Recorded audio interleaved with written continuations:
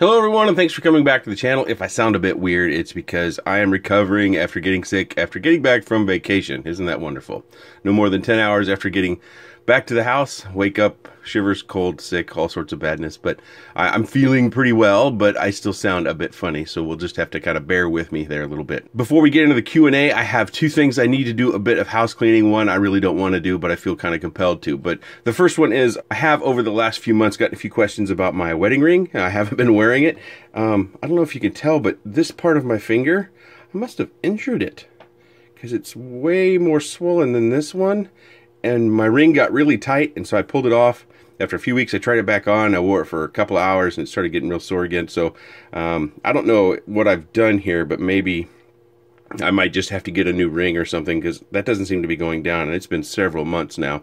Um, I still got a chunky look at how fat that is right there you got a fat little finger down there. But anywho, no, uh, my wife and I are still together. Everything's just fine. Just got a weird little fat finger injury thing. The second thing that I don't want to cover is a little bit of drama. So if you want to skip that, I completely feel you. And I'll have a table of contents down to the Q&A questions down below so you can click those and jump to the timeline.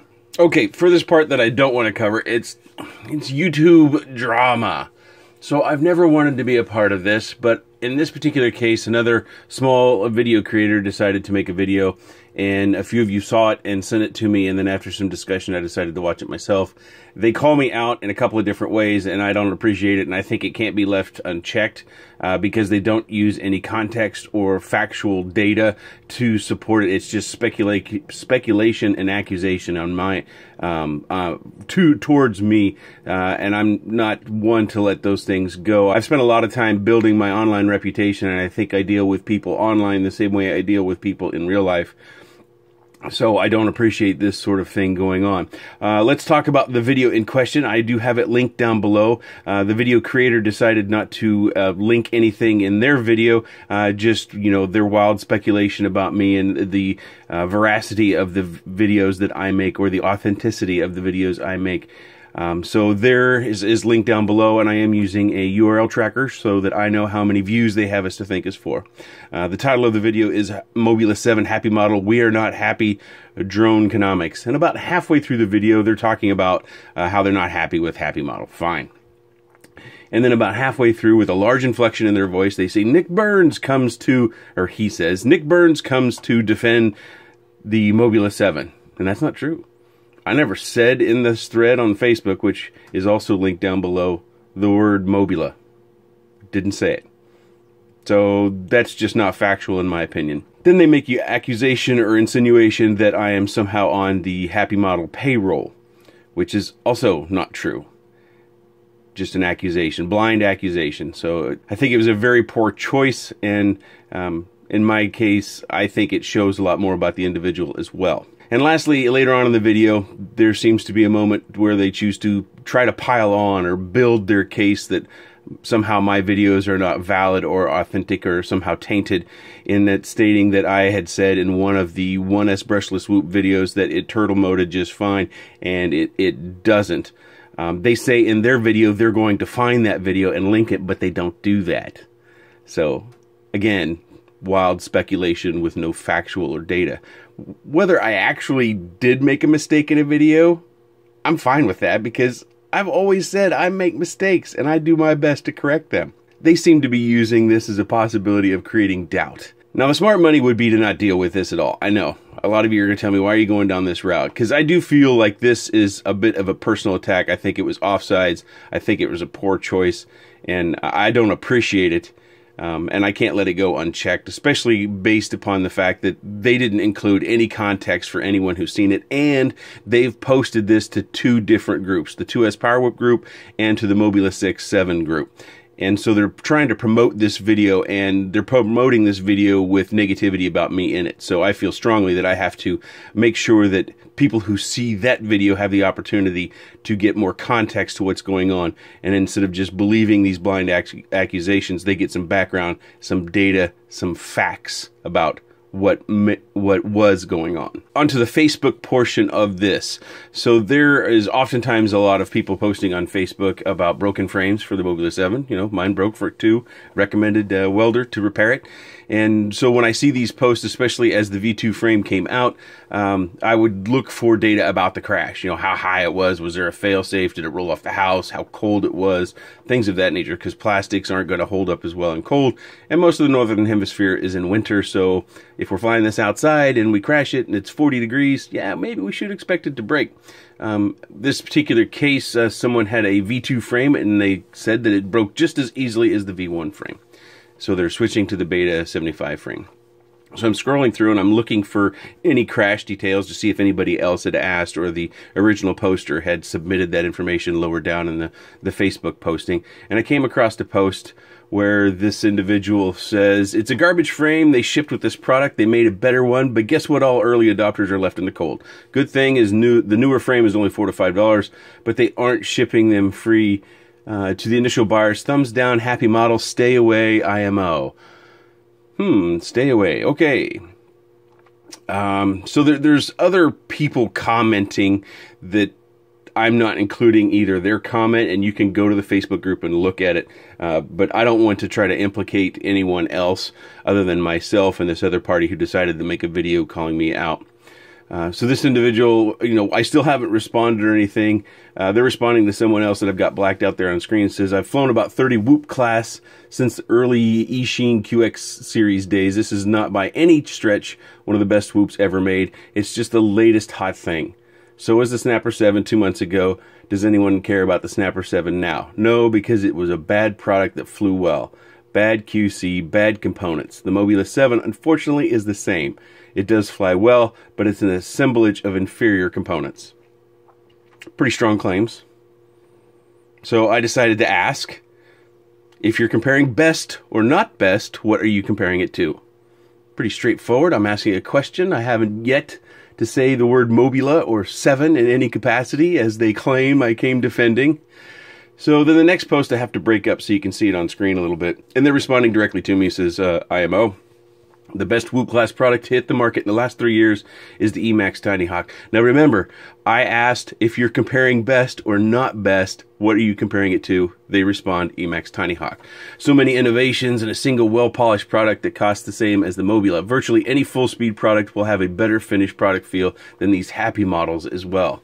Back when brush ruled the landscape, you had equally problematic quads in the Quill, uh, the QX95, QX70C, QX90C, etc. all flew pretty well, but they had those all-in-one camera VTX antenna designs that would break if you landed upside down.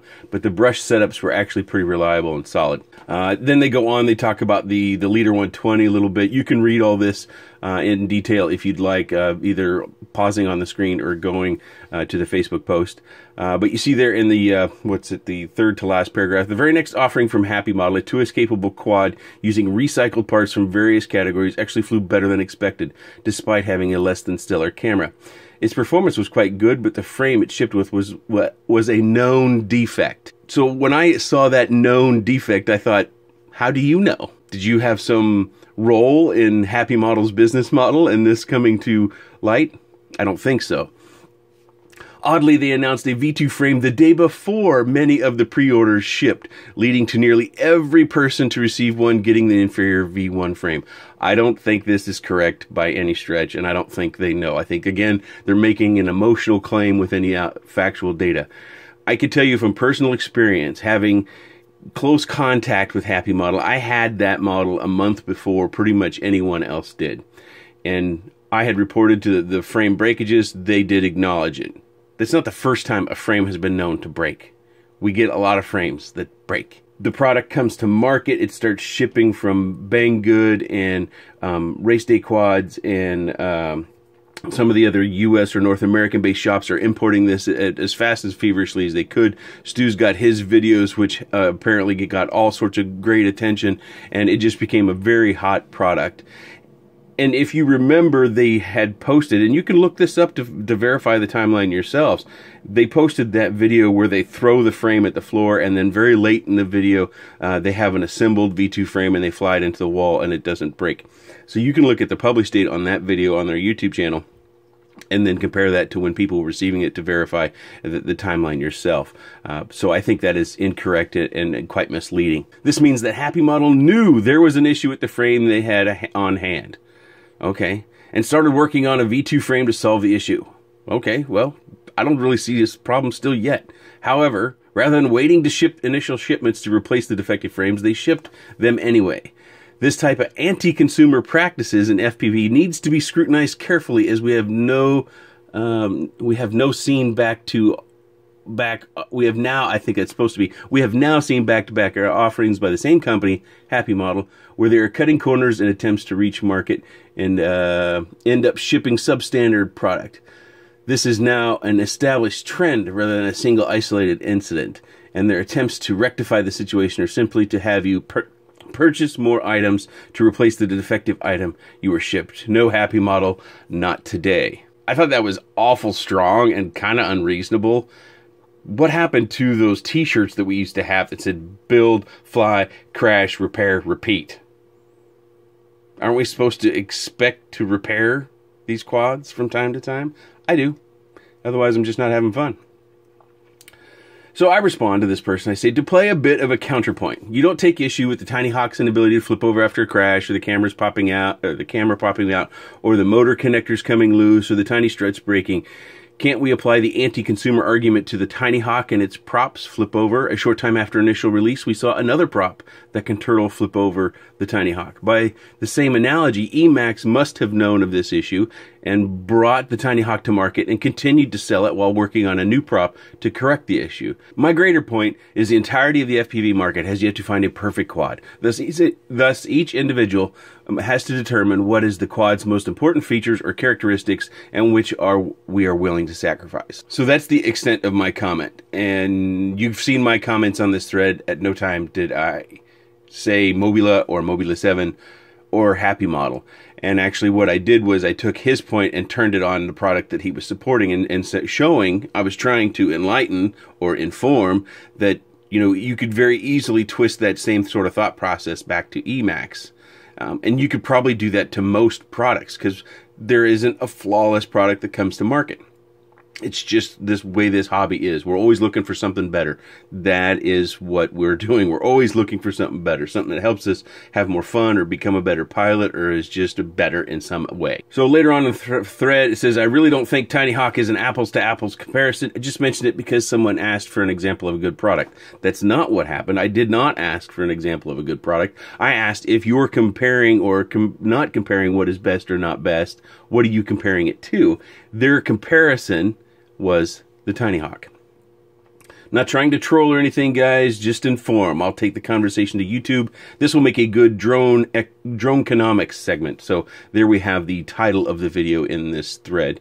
Uh, there is uh, a number of other people that are basically not agreeing with this individual and how they're thinking or what their opinion on the topic is and and I've left those out just because that's uh, that's not my news to share I'm just sharing what I've uh, shared with you, which is my part, and these uh, the video creator who decided to call me out's part. So I think it was truly poor form to take that discussion, which I thought we were having a discussion, and turning it into accusations and insinuations that somehow the uh, videos that I've created are not valid or are less than honest. And I, I don't appreciate it, and I, I think this is the sort of behavior precisely that creates a negativity within our hobby that we don't need there, there's no point to it. There's nothing good that can come of this. Um, and, and, their last statement that I'll take the conversation to YouTube. This will make a good drone economics segment. That sounds like a little boy who grabbed his football and said, "And I'm going home too." Didn't want to have the conversation anymore because it wasn't going in the direction they wanted. If you're if you're going to have strong opinions about something, you should be prepared in like anything, say debate or life, you or work, you have to choose to defend them and you have to use language to defend them. If you're going to defend them by just saying, "Oh, you're all wrong and I'm out of here," that doesn't hold much weight. And it doesn't work in the real world either. So I don't appreciate them calling me out in the three different ways and trying to make somehow the efforts that I have tried to give this um, hobby um, less than anything other than what's all that I can be. I, I don't appreciate that. Um, I'm not asking anyone to take up this charge for me. I'm not asking you to go and thumbs down the video or leave negative comments or if you see this person online to flame them out. That's not my point at all. And I think that'll actually just propagate more negativity. So I'd encourage you not to do that. But what I want this video to be is something that if you have seen that video and maybe you didn't understand or you just trusted this other person that maybe there's another side of the story. And then in the future, if you see something that's maybe even outside of FPV space, it might help you understand that that is one person's perception and that there is also another side or possibly multiple sides to things. Uh, oftentimes, the cliche perception is reality gets thrown around quite a bit. And it is true, perception is reality. But if someone's perception isn't based in reality, then that is not a valid cliche. Okay, on to more fun things. So, we've got a comment here, and we're going to start answering these Q&A questions. Semte Truchet Truchete. I'm going to butcher a lot of names. I'm, I sure apologize. I wish I was a better linguist and I could get these right, but um, you can see the comments uh, there on screen. Uh, what does your family and especially your wife think about the hobby when you're flying around the house? Once again, and then kind of the, the winky smiley face. My youngest gets annoyed when she's got a show on and I'm flying kind of around in front of her, and I kind of do that kind of, you know, being an annoying dad, I'll fly around in front of her and then I'll zoom off and I'll stay away and I'll, I'll come back by and I can hear her yell out, you know, Dad! Because she's having a hard time hearing the TV. Other times she gets up and runs after me. The other two kids do nothing and my wife doesn't care at all. Um, I've told a story once before at Thanksgiving. Uh, we had a gathering here at the house, and uh, it had kind of you know post meal gone to a little bit of a lull. The cleanup was pretty much done, and so I grabbed one of the little quads and was flying it around. And uh, my mother-in-law and father-in-law didn't seem to care for it, and said something to my wife about you know me flying around the house and uh, she said something to them. I, I couldn't quite hear everything. I was sitting in the next room, but she said, "Don't worry about it. He's really good at that." And I just kind of had to laugh. I had to laugh for two reasons: was my in-laws are in my house complaining about something I'm doing, and then my wife has to tell them, "Don't worry about it." okay, uh, Matthew Saigon, do did you fly drones while you were on your cruise? He's talking about the vacation. No, I did not. It was a Disney cruise, and Disney is very anti-drone. They have signs um, all over the place and in the fine print on their brochures and things of that nature that let you know drones are not permitted. I sure didn't want to have anything confiscated either. Shane Doherty, hope your holiday was great. Thank you very much. What is your regular job? I am an IT manager for a financial institution. Uh, have your neighbors ever gotten upset about the noise of your quads buzzing around? Thanks, my friend. Uh, no, my my neighbors haven't gotten upset. Um, I actually landed a quad in my neighbor's pool one time, and he dove in and got it for me. it was at lunchtime, and he's retired. And uh, I had an ESC freak out, and the last thing I saw was blue, and I knew it was in the pool, but it was so small, and apparently in the bottom of the pool, we couldn't see it. And so he's like, well, I'll go in. I got my swimsuit on. And he dove right in. Uh, I took him a bottle of wine like a week later to thank him for it. And um, that's that's been like the only real interaction. No, that's not true. A couple years ago, I caught a tree limb or something like that with I can't remember which quad, and it, and it came crashing down, you know, on a flat spin on my neighbor's deck and when it smacked their deck, they were probably having dinner or something of that nature. And they they did come out as I was marching over there to try to find it, and they're like, "What was that?" And I showed them, and they just kind of laughed and went back inside. You know, they all know I fly. We've talked about it. Uh, we do have a new neighbor across the street. And when we introduced, uh, we somehow got on the topic of the, the noise, and I told him what I'm doing, and he thought it was super cool. He's actually um, a chimney sweep, and so he uses a you know aerial photography drone in order to look down in the chimney. Um, and he had I when I asked him about you know some of the licensing and things of that nature, he had no idea. He, he's just you know just a guy who went out and bought what he needed to run his business, and he's doing it.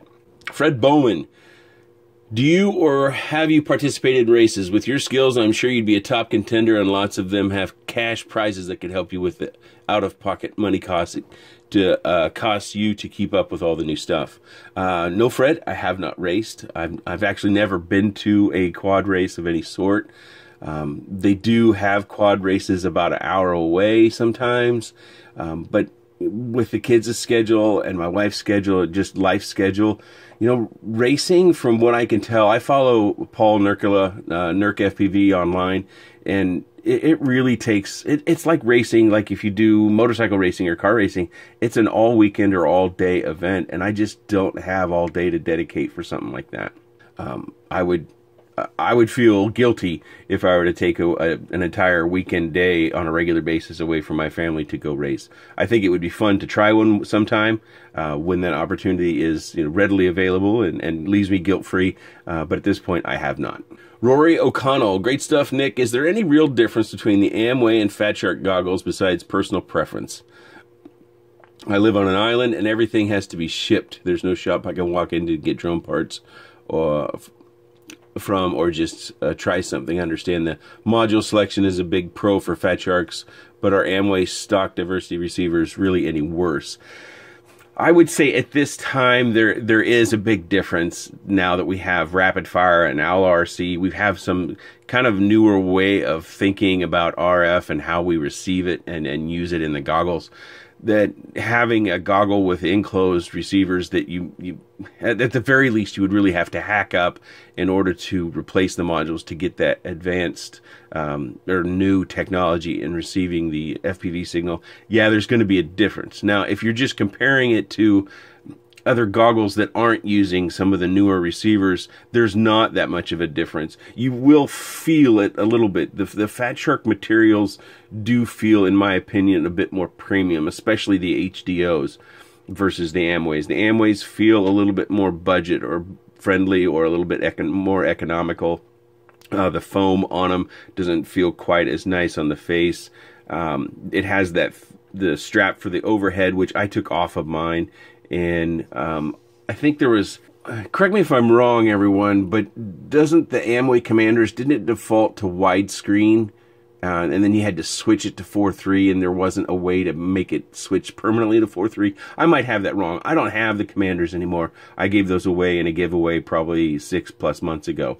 Uh, so there is a little bit of a difference in, in some of those areas, but it's not huge. Um, I think it's bigger when you compare to the HDOs and maybe additionally if you're comparing it to use some of the newer receivers on the market that are very very expensive as well.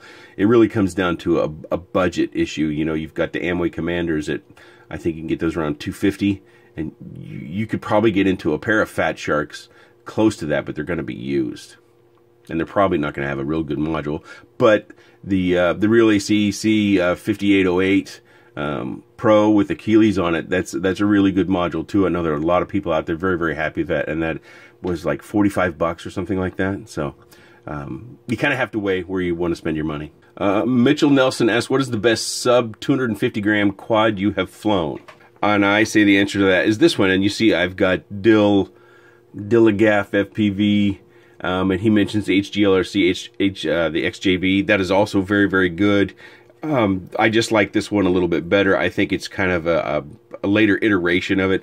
They're both Stretch X frames. Uh, this one has a taller stack, and I think this one was is going to be easier to work on if you needed to work on it. The XJB, in order to get it off, it had kind of a multi-piece with it. had the round carbon fiber pieces that went vertically, and then you had some other pieces you had to clip in there. It just got a little bit cumbersome to work inside of that, and I think this one performs very, very well.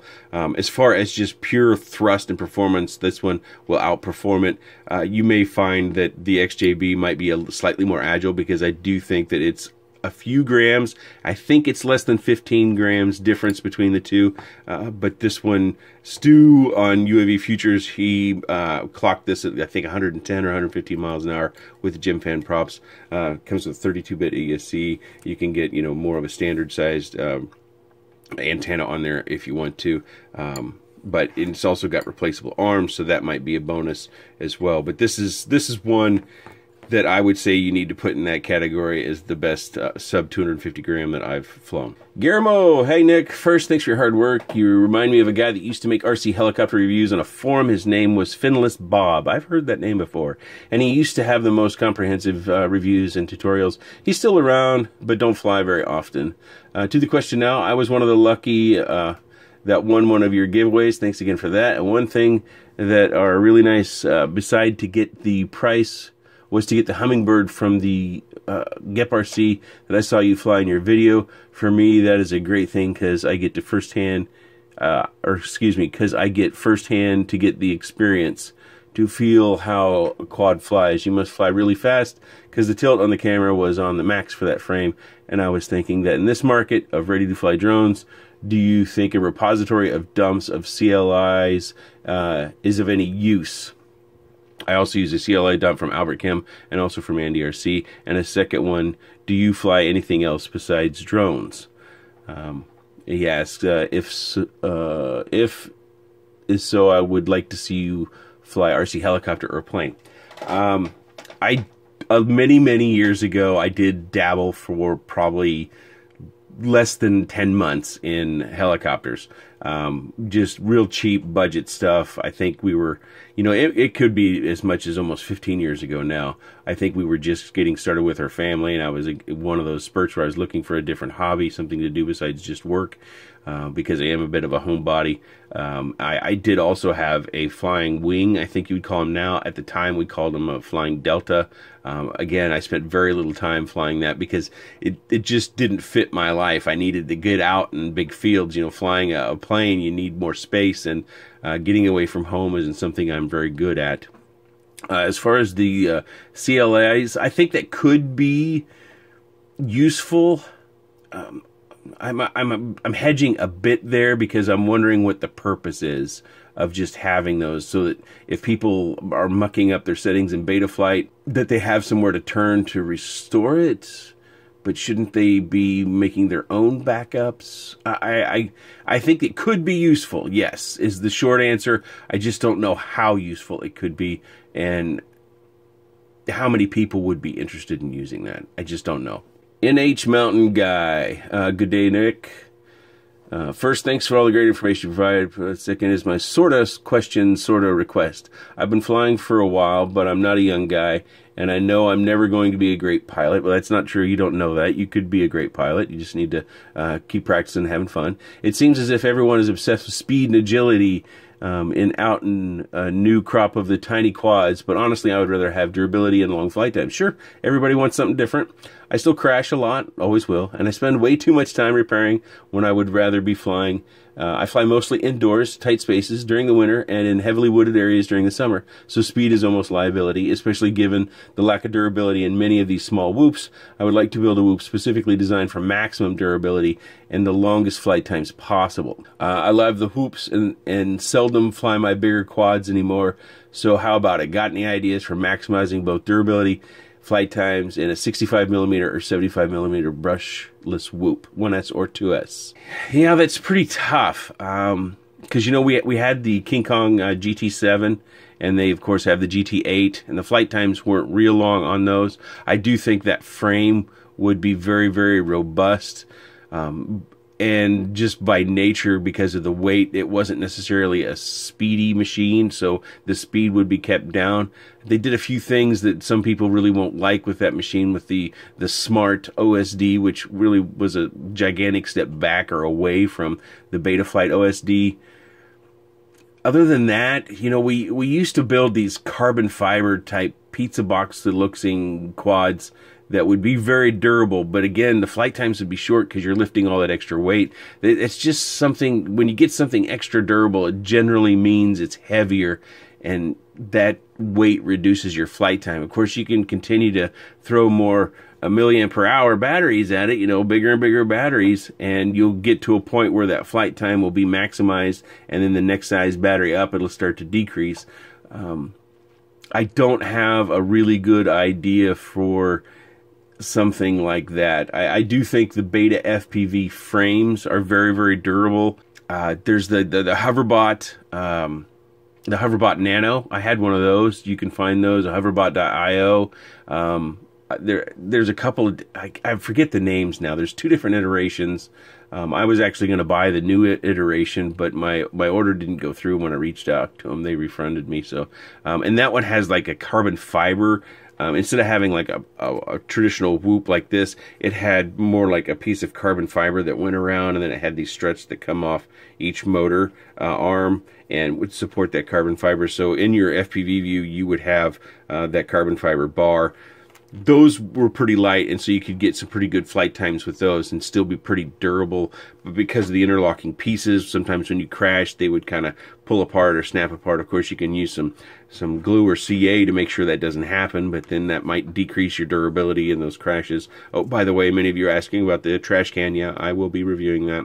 Unfortunately NH Mountain guy I don't have a really good solution. Um, I think if you're looking for something right now I would look at probably the GT8 but if you want to stay in that 75 millimeter or 65 millimeter the flight times just aren't going to be that long as you increase durability. Um, I think on the GT7 though the flight times were around three minutes uh, indoors probably about two and a half outdoors, uh, but I was using the stock battery in that case. Hey Nick, love your channel, mate. I'm somewhat disabled, so my following is basically down to micros in the backyard, making your channel hugely relevant and entertaining. Thank you so much. My question is this.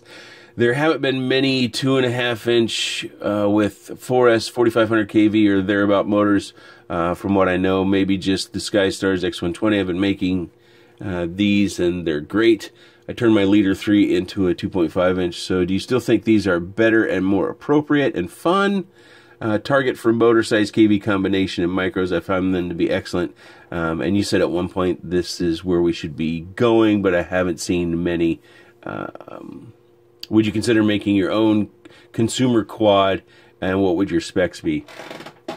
I probably wouldn't consider making my own quad just because the time commitment that would take. I think that would really stop me from being able to make reviews and other sorts of videos over a course of a, a longer period of time, or it would just mean that I have to spend more time squeezing either the consumer quad in uh, the, the specking out and the building and the, the, testing and those things between all the other reviews. And and I enjoy doing the reviews so I'd like to stick to that. I'm not worried about having my name on anything or out there in any way shape or form. So I probably wouldn't be into that. If somebody you know was looking for some sort of um, ideas or something I would I would lend them my thoughts free of charge and they could do with it whatever they want um, but as far as the motor question and uh, 4S and 4500 kV, I think you're talking about the 1106 uh, stator size. Yeah, I do.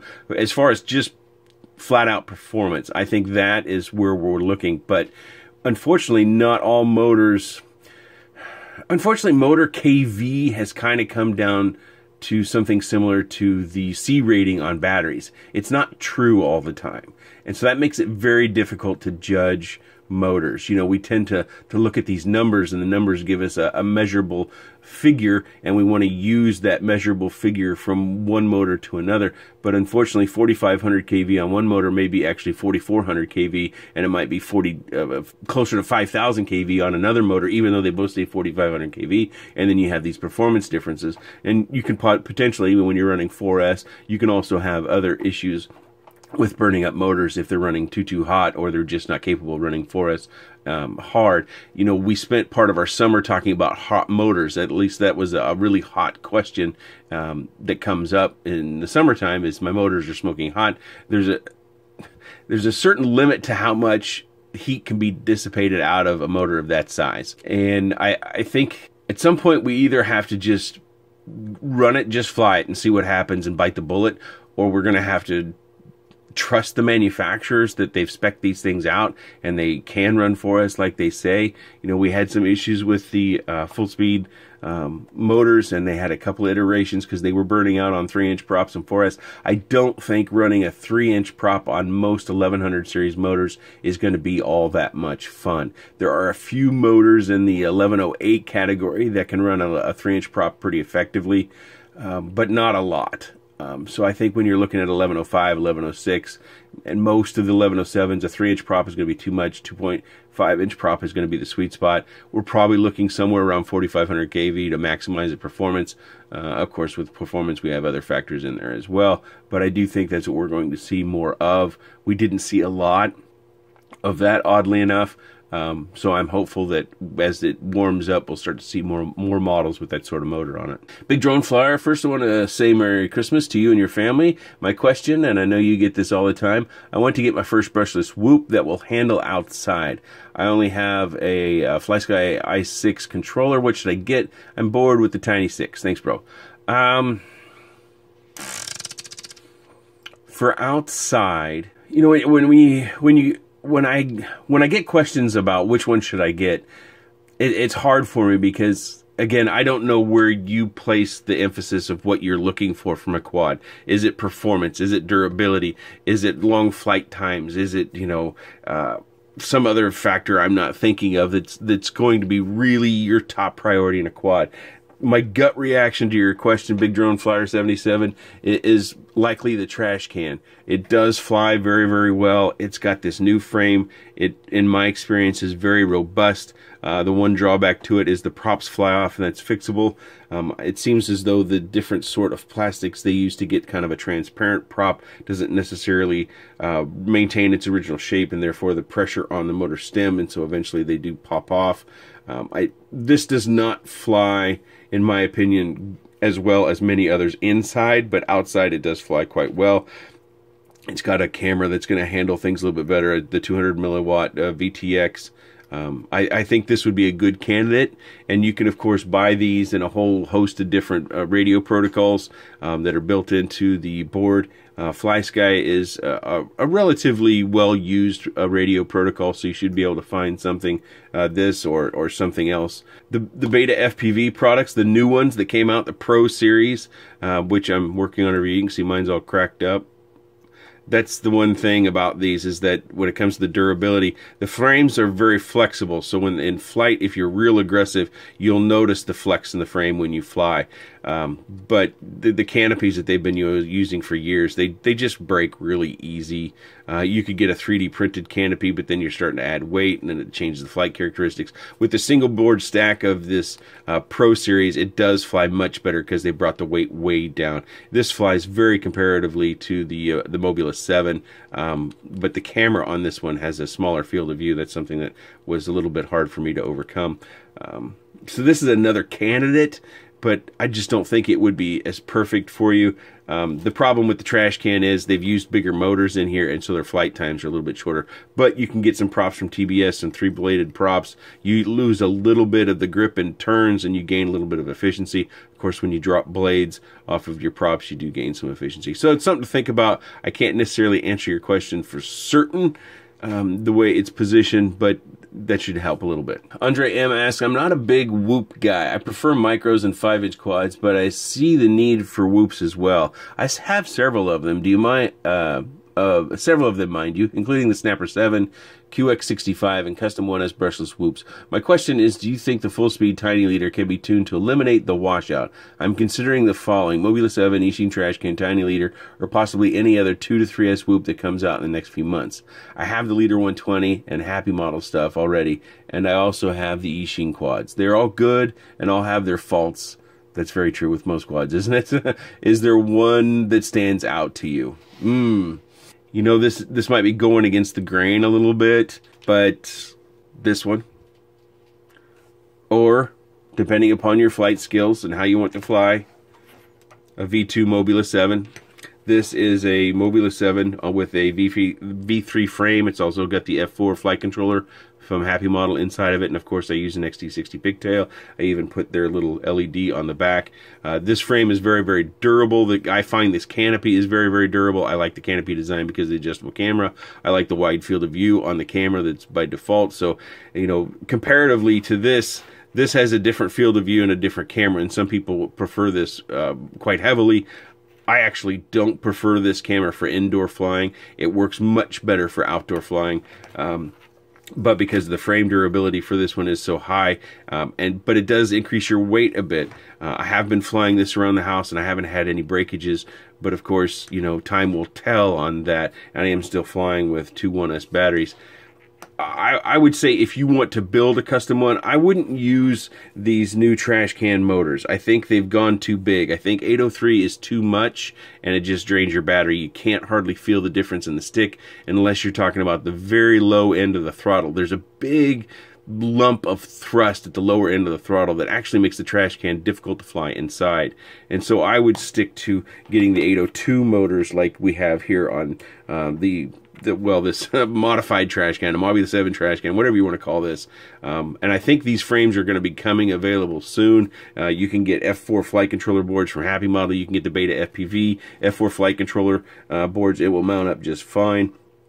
Uh, and then you can just you can buy these canopies uh, from various places and you can put your favorite camera in there if you if this camera is kind of a deal breaker for you then you're looking at going back to something like this or you're looking at getting something that's even larger um, like the, the ET series. I don't think we're going to see much viability in 3S whoops. That's that's just my opinion. I reserve the right to be wrong, of course, but I think unless you consider whoops larger than say 85 millimeters still whoops, we just don't have the proper the thrust thrust to carry around that extra cell of a battery so our flight times are going to be very, very short. The Tiny Leader uh, could do 3S, but I saw it as kind of a, just kind of a niche or cool thing to do, not necessarily really that viable because you're carrying around a battery that you know you've you've added another 14 grams to your battery on a quad that uh, weighs 40 grams, so that's pretty substantial. That one extra cell. And it didn't yield a longer flight time. I think my flight time when I flew that th- when I flew that 3S 300 milliamp battery fairly aggressively on the tiny leader, the stock one, not the HD one, my flight times are still less than two minutes. So I'm skeptical on what we'll see on a 3S Whoop, but maybe somebody can uh, find a, a, a, component mix that just hits it out of the park. We'll see, but I don't think so. Is that an I or an LV? You see yourself on screen there. Do you think if I were looking to start a channel that I could do all my footage with a GoPro, do you think the quality would be bad for build reviews, etc.? I'm looking to get one for flight footage, of course, but I've noticed in this hobby and the end result being starting a channel, when I buy one thing, it's like now I just need this and it keeps going. Do you think I'll need another camera for the bench? Uh, well, if you've got a smartphone, just use that. Um, I actually, what I'm recording with right now is a uh, what a four-year-old Samsung smartphone, and I've got a gooseneck attached to my desk that's probably twelve dollars, and this mat was probably twenty bucks from Amazon. So that's my basic recording setup. I use a cell phone. You can use a GoPro. It gives you kind of a weird perspective because of that ultra wide view, and then you've got to have a larger workspace in order to keep it clean or messy, depending upon how you choose to film. You can definitely do anything you want to to get started. I think the main thing is if you really want to do a channel that you should get started, but I wouldn't suggest making a really large investment in getting started uh, because you may find that it's not something that you have time for or that you enjoy. So I would get started very conservatively. Fat Pastor! Am I saying that wrong? Pafat, Pahat Faster. uh, love you, channel. One of my top top four. Come on, man. Uh, just wondering if you would consider selling some of your quads on RC groups to help fund your channel. I think there are lots of people who can't or don't have the time to build quads. They just want something that will fly. I also think there's a need for like the the working man's review, something like, okay, guys, here's one simple out of the box flyer or walkthrough to get some airborne. Um, I think I understand. As far as selling, I do not like to sell the stuff that I fly because I don't I don't do one day reviews where I go out and I fly five or six packs and there's no crashes and then I stitch together a, a, a review video. That's not what I do. I fly things over a period of time. It's usually over the course of about a week that I'll get a series of flights somewhere between 25 to 50, maybe even more flights, um, depending upon what the machine is and what my weather's like and how I'm flying. Uh, and I crash. And I would I would feel really bad. Even if if I had say I had a, a micro that was a hundred fifty dollar micro and I sold it to somebody for fifty bucks. And and I thought I had crashed that relatively modestly. And then they get it. And then they go to bind it up. And on their first flight they plug in a battery and magic smoke or a motor doesn't work or something. Even though when it left here it was fine.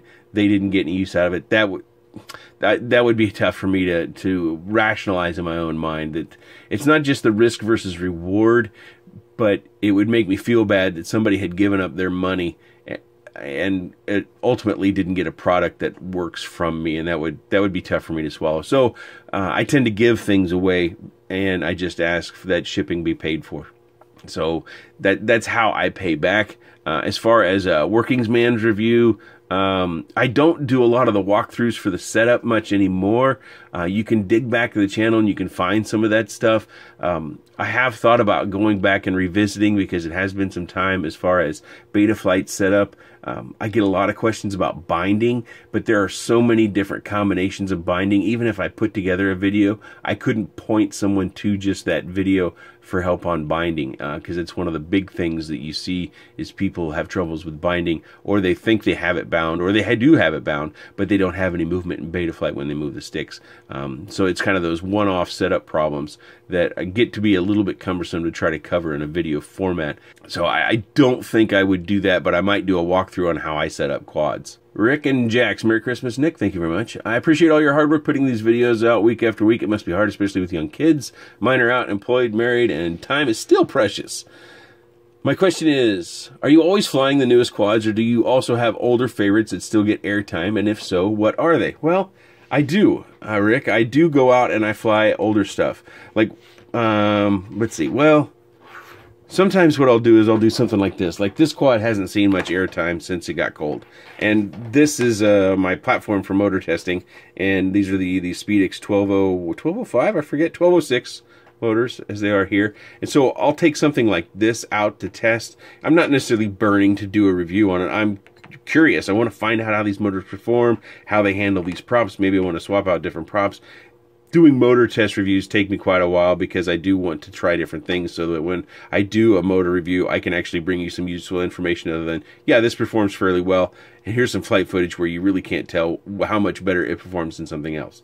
Uh, that doesn't hold value, I think, uh, for people who would watch that. But what I do is when I'm charging batteries, say I've got a new review I'm working on, I'm charging batteries, and I think I'm going to have a pretty good lump of time to fly the next day. Usually I'm charging at night. I'll charge a couple of batteries specifically for one other quad that I've got sitting on the shelf that I want to take out and fly. And generally speaking, it's one of these two. So um, if I'm doing 3S charging, I'll I'll just take this out with me. So if I, you know, I stink at flying whatever I'm trying to review, I'll put a 3S battery on this, generally a 550, and I'll go out and fly this. This is the the Neta X XF3, I think it's called. Um, I did a review video on that. This flies, I like this. This is a fun little uh, quad to fly. This is their V2 edition where you can actually get some reasonable camera tilt out it. And this is the SkyStars X120. Uh, so when I'm going out and I've got a few small 4S batteries, 450s, I can get about a three and a half minute flight or three minute flight out of a 450 4S on this. And this is just outright pure performance fun. I do take these out and these are the two primary that I take out with me when I'm taking out another quad or two for review purposes, or if I'm doing motor testing, I'll take out one or both of these quads as well. It's not very often that I'll take out a three inch. What will generally happen on a three inches if I'm going somewhere for like a weekend trip to visit family or something like that, um, especially some family members that we have that live kind of in the, uh, the, the country. I'll take a three inch quad with me in those cases, but generally I take one of these. I, I know this is a three inch, but th this is kind of a, a, lighter, less aggressive three inch than what I'm, I'm talking about, like the Heliofire X140 Pro or the XJB um, 145. Those are the three inch ones that I might take with me if we're going out to the country versus these if um, I'm just going out back to do some additional testing. So um, this is a build, this is a buy. You can actually get this in a kit too, but I wouldn't suggest it. I mean, unless you just like building and you have the time for it. Okay, Power Evolution RC. As for a question, have you ever tried surface RC vehicles? And if so, what kind? Electric, nitro, gas? Yes, um, that's actually kind of where I got started in the hobby grade stuff. I had a Tamiya Grasshopper back in 1986, I think it was. Might have been 83. Can't remember for certain. And a new kid moved into the block and he had a Bigfoot and I loved his Bigfoot so much that I bought a conversion kit for my Grasshopper, and the thing did not drive well.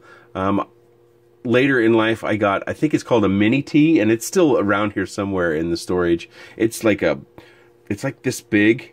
And then I bought this brushless motor for it, and it runs like a scalded dog but it is so fast that if you're if you're going anywhere over half throttle and you try to turn, you're just going to roll the thing. It's it's ridiculous, but it's so it's so small, and to take it rip it up the street was a lot of fun. I haven't driven it in, driven it in years, uh, but I have a lot of fond memories, and it has seen a lot of abuse. But I do have um, a lot of experience. I spent years doing RC vehicles, but really not too many because uh, growing up we didn't have much money. Rob Wartzer, strangely mesmerizing to listen to you talking while watching your hands. Anyway, my question is on longevity of the passion for the hobby. I wonder where you see yourself in three to five years. Will you still be doing a channel? Does it help uh, you keep a fresh eye on the hobby? Thanks uh, for all. Thanks for all, Nick. Seriously, um, you know it's really hard to say. You know, th- this is a hobby, and so life is going to dictate what I'm doing. So if we were to have something that would dramatically change in our life, then it could dramatically change my participation in the hobby. But let's say that things remain the same. Yeah, I would think I can see at some point where doing reviews might not be a focus of mine, um, just because I don't know. Maybe maybe in three to five years, I've been doing it about three years. That it might get old at some point. Um, and I think also there's going to be a limit. And that's something I think about quite a bit is how many more different quads will we see? The, the changes have been getting smaller and smaller. Look at all the different whoops we've seen over the last four months. The changes are really small. I mean, they're all kind of similar, but we're, we're, we're looking for one little thing that makes it the ideal whoop for us. So you know, we've only got four motors and four props and one camera. You know, how many different ways can we do this and how many different products will be coming out? Because I can see definitely at some point in time there is going to be interest will wane looking at product reviews like this channel is primarily product reviews. So that that's really hard to dictate. It's going to be you know maybe the hobby changes direction somewhere to where we see something new and innovative that respawns a whole new product category within what we're doing. I don't know, but I do like to fly. I fly you know, unless I'm on a boat in the middle of the ocean, I do fly pretty much every day, at least one battery. Um, I think I average somewhere between 50 to 70 flights a week. Um, so I like to fly a lot. I don't fly because I want to get faster or better. I fly because I like it. It, it takes me out of any stresses or worries I might have. Um, and even when I fly bad, it's kind of like, uh, you know, those bumper stickers where people say, you know, a bad day fishing's better than a good day at work. It's kind of like that you know, a bad day of flying is better than a, a day without any flying.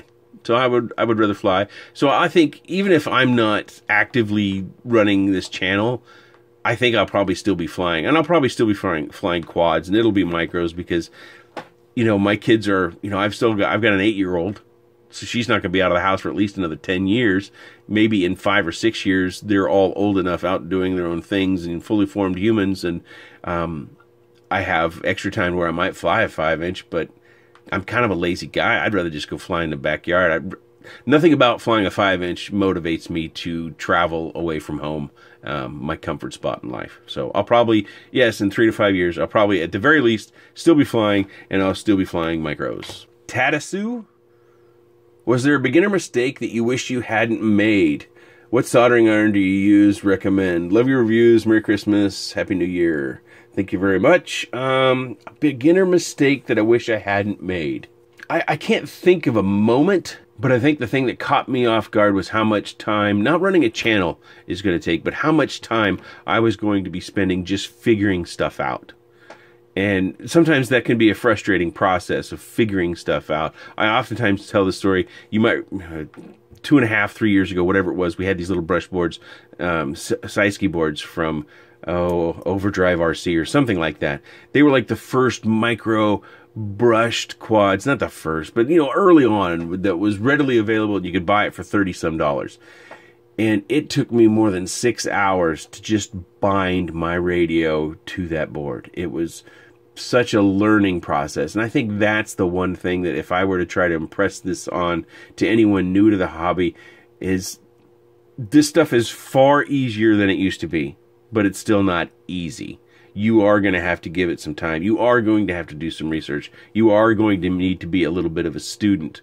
Uh, because if you just pose your question to someone else, you're now waiting on them to return. And that asynchronous communication of posting, you may not get a return very quickly. So your excitement to fly may be weeks away yet because of that, unless you've got a buddy or somebody is around.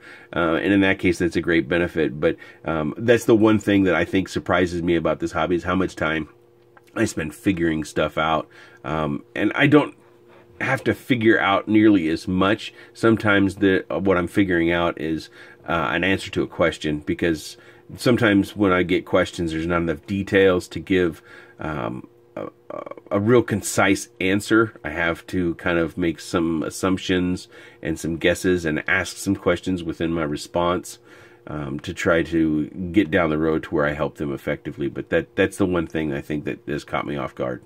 Knucklehead RC. Thanks for all the great content, Nick. Question With all the amazing advancements in our hobby over the last few years, what do you think Hope 2019 will have in store? Well, the one thing that we talk about quite a bit is always improving the video because it's such a big part of the flight experience. And batteries is the others. You know, motor performance is going to just continue to get uh, better and better. Prop performance is going to get continue to get better and better. Our components will get better and better. And those are going to be small changes along the way, little tiny changes to all these things. But video is such a big part of the experience that I think a lot of people keep thinking about HD video live in the goggles. And Connex tried that, and maybe there's some companies out there trying it. I don't think we're going to see that, especially not in micros. Um, I just I just don't think the technology is there in the fact that we can buy it at a price point that we're willing to crash it, kill it, and have to replace it. And that's all part of figuring out the market from a business standpoint. Is we won't see those things unless they can make money, uh, because businesses are in the business of making money. Um, they do that through products or services. I do think what we're going to see is improvements in these HD FPV cameras. And I, think that's a good thing for micros because then you can have, I think the boards are going to get smaller. I think they're going to start shrinking down even more. I think um, hopefully, hopefully somebody figures out how to bring kind of that super view to video without having to do a bunch of post processing. I think the cameras are going to get better, but I think the one improvement we're going to see that's going to be fairly quickly is the FPV view of these cameras is going to improve. Um, I think that's really important because right now it's kind of muddy in my opinion. You can get some pretty nice HD video out of the camera from your SD card recording, but the live view just isn't very good. And that for me kind of tempers the experience a little bit there.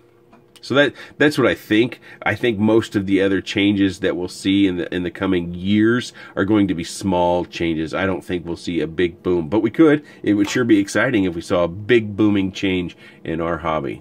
And the last question from Ben Woodward: Why the X Lite instead of the X9D or QX7? Uh, one reason: the X Lite fits my hands way better. Uh, the X9Ds and the QX7 are both very large, very bulky uh, radios. I, I had the QX7 for a while. I could not fly with that. I'm a pincher. I could not fly with the QX7 at all. I think if you wear a neck strap and it hangs from your neck strap, and I don't like that. I don't like things hanging from my neck. I don't wear a necklace. Um, I wear a tie when I have to, but I, do, I don't want it hanging from my neck. I want to just hold it in my hands and I want to pinch and I want to fly and I want to be comfortable the X9D is much more comfortable to fly with. And I actually was using the X9D. I think I have a Pro or Plus sitting back over here that's I, I used for six, eight months, whatever, before the X Lite came out but the X Lite just fits my hand so much better. It's so much smaller. It, it's easier for me to for, to grab two or three quads. And, you know, a pocket's full of batteries, my goggles, and the X Lite, and uh, our camera for recording, and I march off to go fly. But if I have to grab that X9D, then I usually have to make a secondary trip. So purely from a size standpoint, and it's cheaper. The X9D I bought, I think was 250 bucks. The X Lite, I think, is like 119 or something like that, right? Um, I actually bought stick ends for the X-Lite that were longer, tried them out, took them off. I really don't need any of the extras that you can buy for the X-Lite. I thought I did, but I don't. I, I, I don't fly as well with longer sticks, and I thought I needed longer sticks to make the X-Lite fit me. I just don't. I do. I, um, I adapted. You know, we're we're as humans, we're amazing if we give ourselves time and we have the patience to kind of bear through some of the rougher moments. We will adapt. Um, and but to answer your question, size. Okay, that was the last question. This video is probably extraordinarily long. I apologize. Hopefully you've clicked your um, the section that you wanted to see down below. I, I, enjoyed this. I didn't pick out every question. I think I had somewhere in the nature of 20 questions that I tried to answer. Uh, we had that little bit of a drama there, business in the in the beginning. Again, I'm not asking for anyone to take up that charge. I just thought there needed to be some clarity added to that creator's video that I didn't necessarily appreciate them calling me out on. I thought it was a little bit of a, uh, um, I don't know. It's not something I would have done, and therefore I didn't appreciate it. But I appreciate your time, and thanks for watching.